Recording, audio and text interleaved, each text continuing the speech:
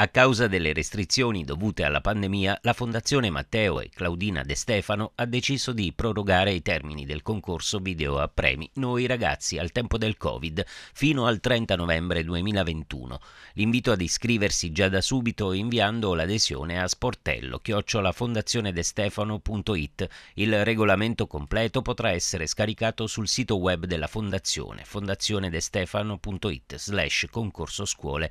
Sempre a causa dell'importanza imperversare del Covid-19, tenuto conto anche delle varianti che si sono diffuse con riguardo a quella inglese, la Commissione ha deciso di ammettere anche i corti elaborati da un solo ragazzo e non necessariamente da gruppi. Il contest è rivolto agli alunni residenti nel territorio cilentano, frequentanti le scuole secondarie di secondo grado del territorio, i quali potranno partecipare inviando la loro opera originale inedita della durata massima di 7 minuti raccontando migliorando l'esperienza diretta con l'emergenza sanitaria attraverso il cambiamento delle relazioni nel vivere quotidiano. Durante gli scorsi mesi si è pubblicizzato sul web l'iniziativa che ha ottenuto circa 500 interazioni, indice di un significativo riscontro da parte dei giovani all'iniziativa in collaborazione con il laboratorio di storytelling audiovisivo del Dipartimento di Scienza della Comunicazione Lab SAV dell'Università di Salerno, il concorso prevede tre premi da 500 euro spendibili presso il negozio 4G Mobile Me